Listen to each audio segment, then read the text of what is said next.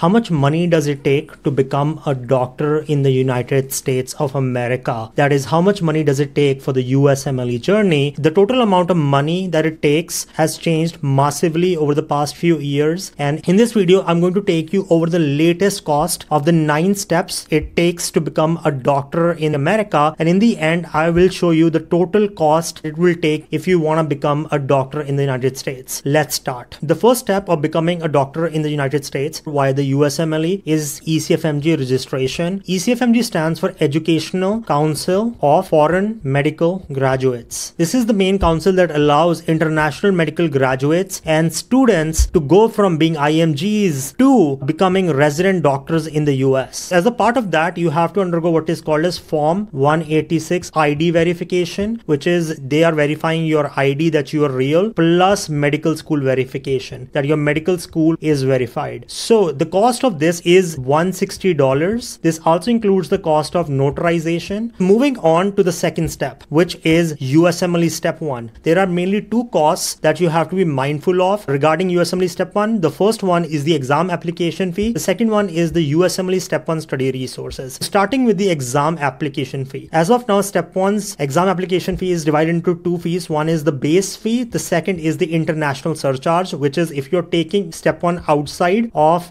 US and Canada. You have to pay this international surcharge for them to deliver that test to you. The latest base fee is $1,020 and the international surcharge as of now is $205. So the total cost comes down to $1,225. In certain countries like India, you have to pay an additional taxation, which is about $200, which brings up the cost of step one to $1,425. The next fees for your step one is for the USMLE step one study resources you're going to need for acing step one. Here are the six resources that everyone who's going through USMLE step one buys. The first one is UWorld six month subscription. This is the main question bank for step one, and the cost of this comes to $479 for a six month subscription. The second resource is First Aid, which is the main book for USMLE step one. The cost of the latest version of First Aid is $65. The next expense is Boards and Beyond, which is the main video series for step one. A three month subscription of Boards and Beyond is going to cost you $149. Pathoma, this is the main pathology study material for the USMLE step one. A three month subscription of Pathoma is $85. Sketchy or visual mnemonics geared towards learning step one material. A three month subscription of Sketchy is $349. The last exam material is the NBME practice exams. NBME is the main organization which is responsible for administrating USMLE and they also make practice exams geared towards the USMLE called the NBMEs. Everyone buys at least three NBMEs. The cost of one NBME as of now is $62. So if you buy three, that would be $186. Then what is the total cost of the USMLE step one study resources? Combining all the costs, this comes to $1,313. Next is the total cost of the USMLE step one. So this would include the exam application fee. This is $1,225 and the cost of study resources is $1,313 and this comes to about $2,538 for USMLE step 1. Now that you have given USMLE step 1, the next exam is the USMLE step 2. For this exam, you also have to pay two fees. The first one being the exam application fee, the second one being the price you have to pay for all the resources for USMLE step 2. Let's start with the exam application fee. Just like USMLE step 1, there are two fees here. One is the base application fee, the second one is the international surcharge. The latest base fee for step 2 is $1,020 and the international surcharge is $30. This brings the total cost to $1,250 for USMLE step 2. Next is the USMLE step 2 study resources. For USMLE step 2 study resources, you're going to need three main resources. The first one being UWorld, which is the main question bank. You're going to need a six month subscription. The cost of this is $479. Next, you're going to need NBME practice exams, at least three of them. This is going to cost you $62 into three, which is $186 with the $62 being the price for one NBME practice exam. The next is CMS forms. Many people ask me what are CMS forms? CMS forms stands for clinical mastery shelf. There are eight subjects that these clinical mastery shelf forms are made for and out of these eight, almost each of them has three to four CMS forms. That makes the total amount of CMS forms to be 30. So there are 30 CMS forms in existence. I would recommend doing all of the CMS forms because they literally tell you what exactly is NBME thinking and what they're going to probably put on the exam. The cost of one CMS form is $21. The Cost of 30 CMS forms is going to be $620. So that brings the total cost of USMLE Step 2 study resources to $1,295.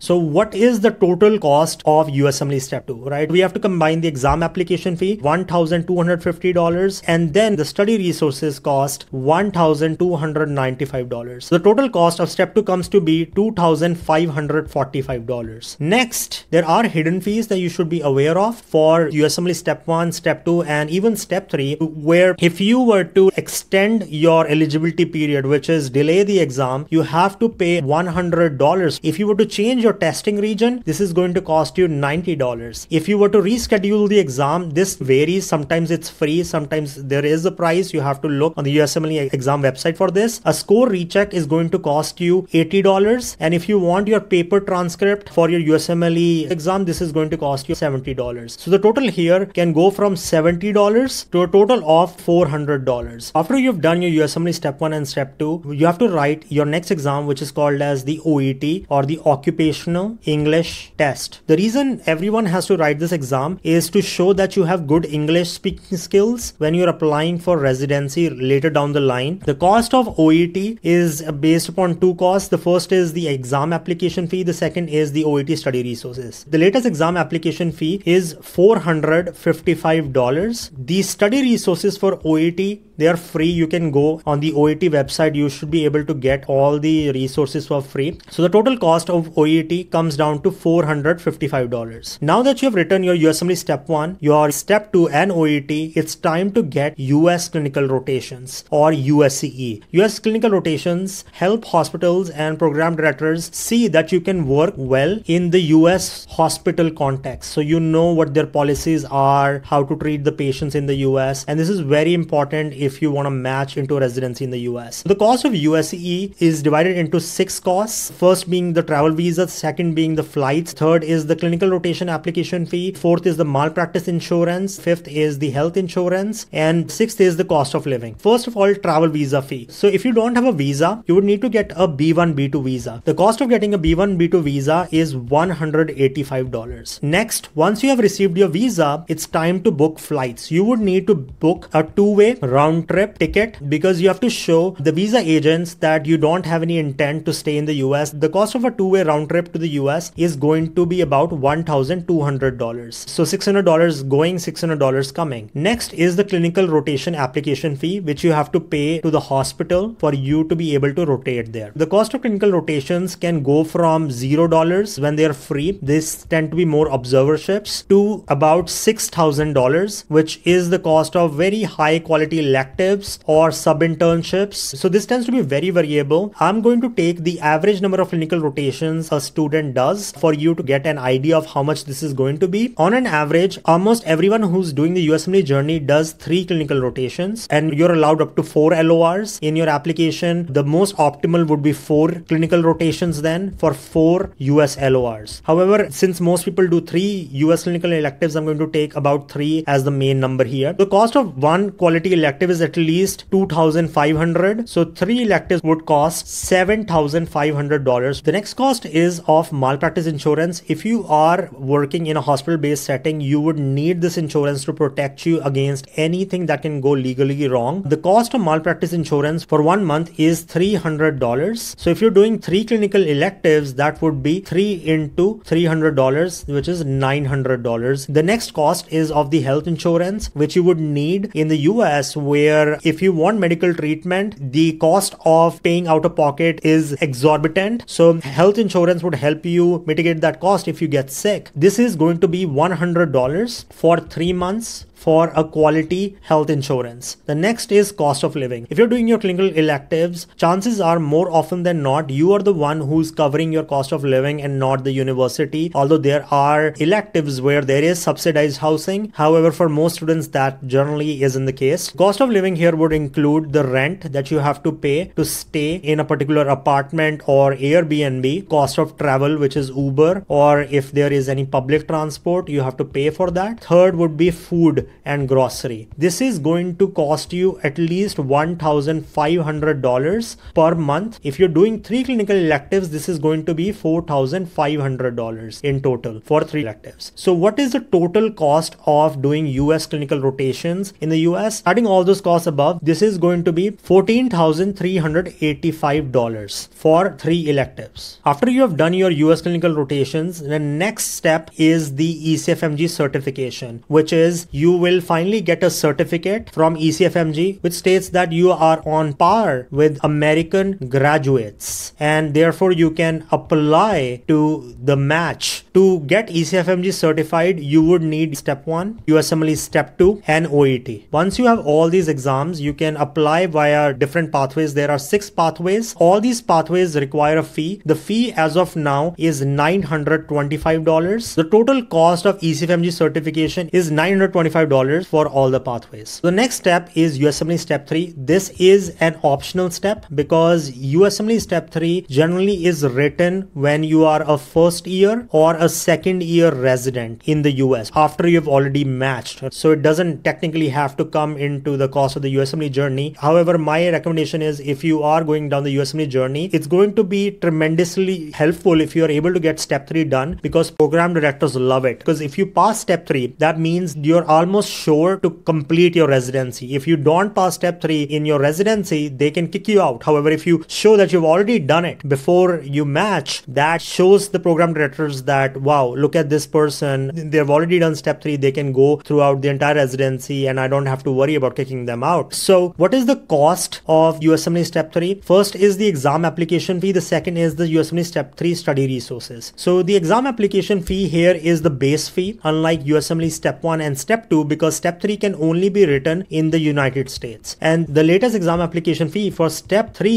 is $925. Next is USMLE step 3 study resources which you would need to crush your USMLE step 3. The first resource is USMLE step 3 for 3 months. This is going to cost you $429. Next is CCS cases which is from ccscases.com. It is an optional subscription so I'm not going to count it into the final cost. It's $70. The total cost of USMLE step 3 study resources is 499 if you count in the CCS cases. If you don't, it's $429. So what is the total cost of USMLE step 3? That would include the exam application fee $925 and the study resources $429. Total cost for USMLE step 3 is $1,354. The next and the eighth step is the NRMP match. The NRMP match is a platform which allows applicants to connect with programs and vice versa, programs to connect with applicants. The best analogy I have to explain the match is just like a dating app. So you as somebody who's looking for a wife or a husband or partner, you have to go to that dating app and that dating app is the platform for you to find your partner and them to find you. That is the match. For the match, you have to pay at least four fees. The first one being the ERAS token fee, which is to enter the match. Second is the NRMP match token fee. This is for you to rank programs. Third is the USMLE transcript transmission fee, which is the fees you need to pay to send your USMLE scores to all the programs. And the last is the program application fee, which is what you have to pay to apply to each program separately. So the cost of ERAS token is $165 to enter the match. After you've entered the match, you have to get an NRMP token to rank programs once you interview with the programs. This is going to cost you $70. The third fee here is the USMLE transcript transmission fee. This is going to be a lump sum of $80 for all the programs, not each program separately. Next is the program application fee, which is what you have to pay to send your application to different programs. This fee is per each program you send your application to. If you're applying to 30 or less programs, this is $11 per program. If you're applying to 31 and above programs, this is going to become more expensive and then becomes $30 $30 per program. On an average, most applicants apply to 150 programs. So if you do the math, let's say we have to first apply to these 30 programs, this is going to be $330. Once you've crossed this, we have to pay $30 for the next 120 programs. That's going to be 3,600. This is going to come to $3,930. So if you look at the total cost of the NLRMP match, this is going to be $4,245 in total.